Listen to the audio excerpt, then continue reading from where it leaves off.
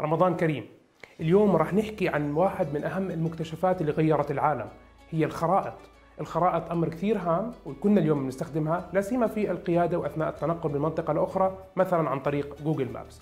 في العصور الذهبية للعرب والمسلمين تطور هذا العلم بشكل كبير جدا. نذكر منهم مثلا العالم الذي يسمى بالإدريسي الذي قسم العالم إلى سبعة أقاليم وأنتج ورسم عشرة خرائط لكل إقليم فأنتج أول تقريبا خرائط للعالم. جاء بعده مثلا العالم الذي يسمى المقدسي الذي قام بإضافة الألوان إلى الخرائط وطور هذا العلم بشكل كبير بعد ذلك.